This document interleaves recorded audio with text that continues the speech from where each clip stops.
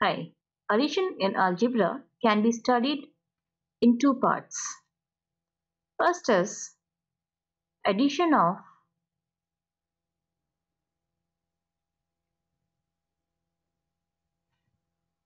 of like terms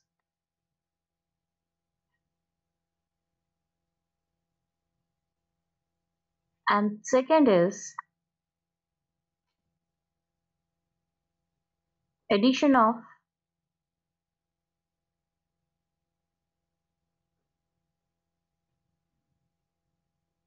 unlike terms.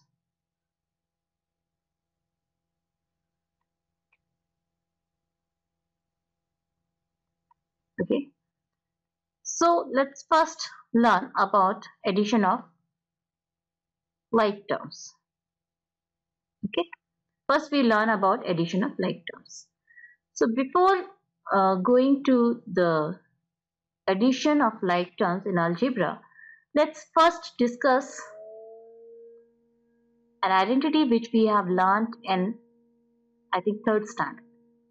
It says A multiplied by B plus C is actually is equal to A multiplied by B plus A multiplied by C. What it actually means is if you want to add two numbers B and C and then multiply the sum by A which is nothing but you multiply this B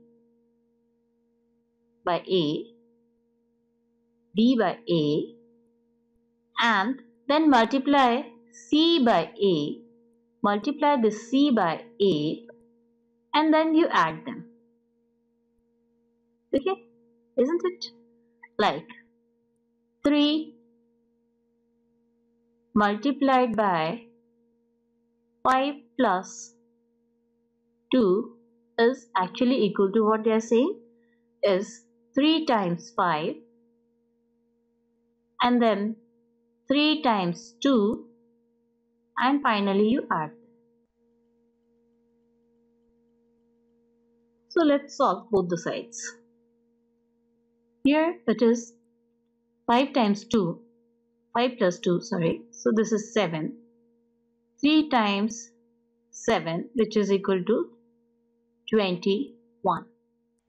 What is 3 times 5? 3 times 5 is 15 and 3 times 2 is 6 and if we add them we get 21 which are equal right? So what we can conclude from this? This identity is called distributive this property of addition is called distributive property of multiplication over addition right? If we have if something has to be multiplied by the sum of two numbers we can multiply the first number by the number which is written outside and we can multiply the second number again with the number written outside. And if we add them we will get the same value. If we perform this first function first operation as it is written. First performing this addition of bracket and then multiplying that by the number written outside. So now you must be wondering why am I talking about this. Let's first, let's first erase this. We are talking about this because as we all know, in algebra we deal with terms which have both constants and variables. And constants and variables are written in quick succession.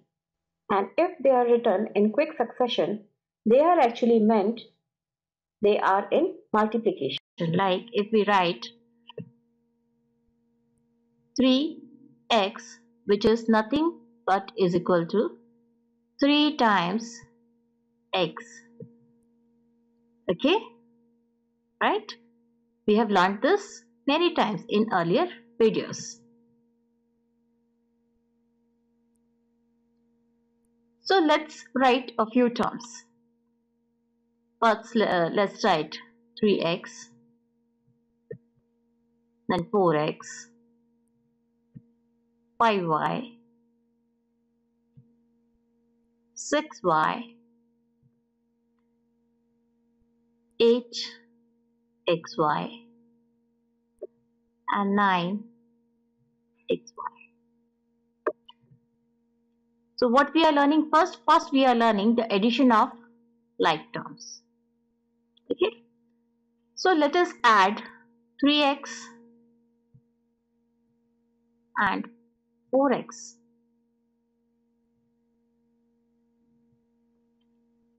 What will be the value of 3x plus 4x?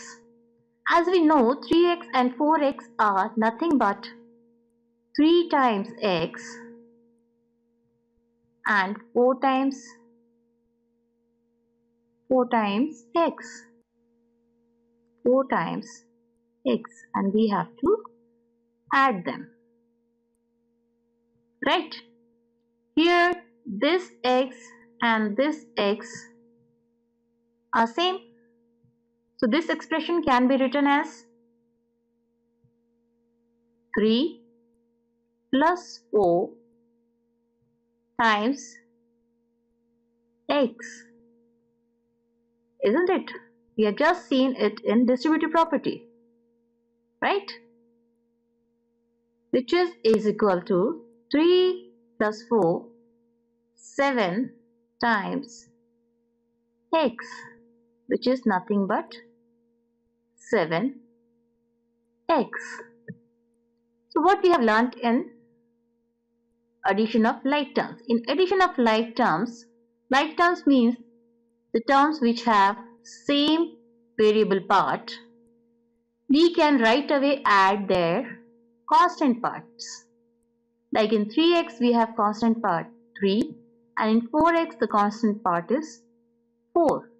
So 3x plus 4x will be nothing but 3 plus 4 times x which is 7x. So 3x plus 4x will be equal to 7x.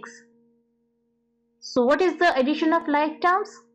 If we are adding two like terms, we can straight away add their constant coefficients, coefficients, constant part, constant multiple.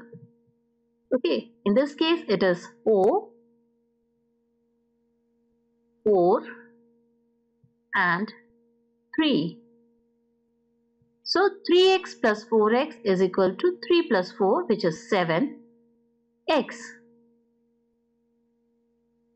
Okay, so let's see a few more examples of addition of like terms.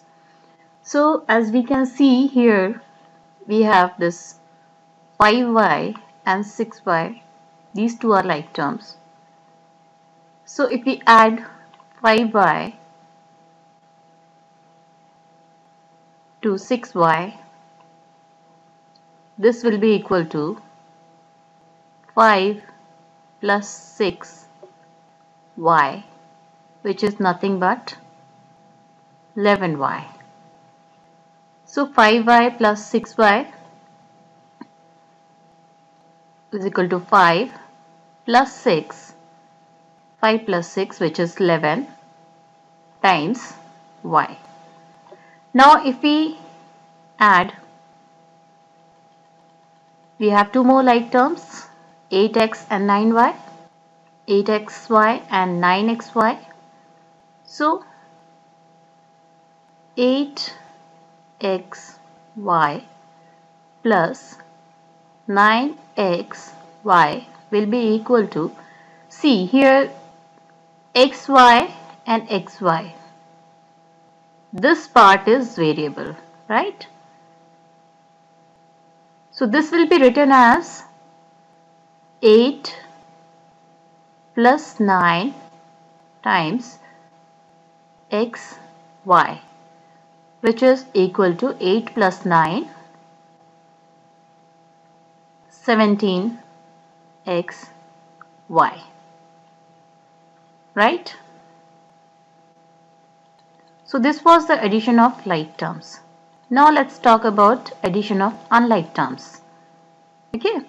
So what is unlike term? What are unlike terms? Let's do take any two unlike terms like 3x and add it to one more unlike term 9 times x y.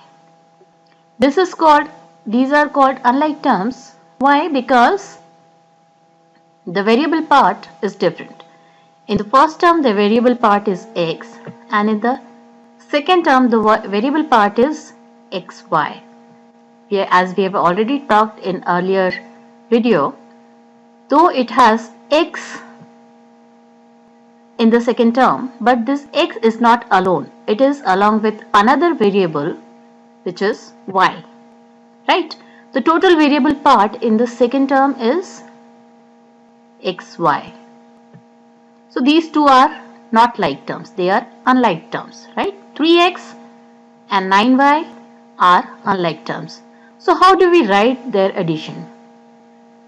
So we have to write, we write it as it is. The sum of 3x and 9xy will be written as 3x and 9xy itself. There is one more way to write this sum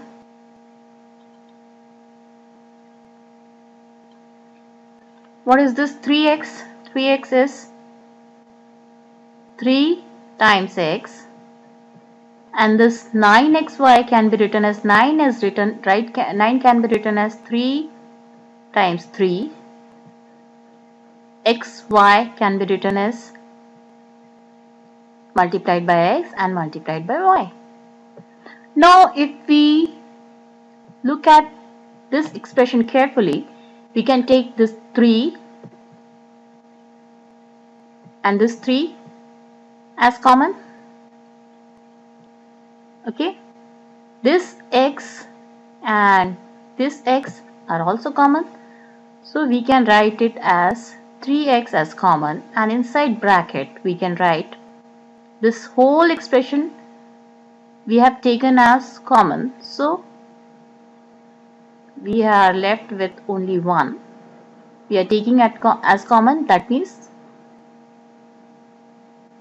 this multiplied by 1 will give us 3x so if we are taking 3x as common this will leave 1 behind inside the bracket.